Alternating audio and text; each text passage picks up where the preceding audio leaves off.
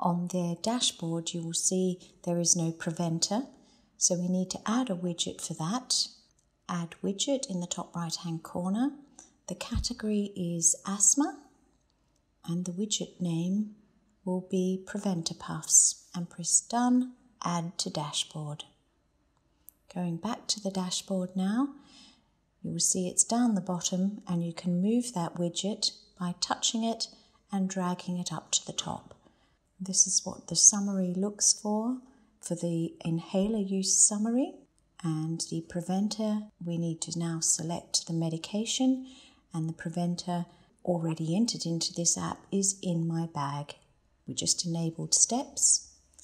Now to pair the PUFFClicker with the app, move through the screens till you get to the battery symbol. Hold it down on the silver button for five seconds until two cogs appear.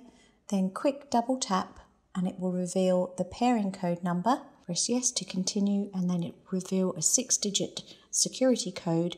If they're the same, press yes and then it is ready to take a dose. And you can see by depressing the cap, it records that dose on the app.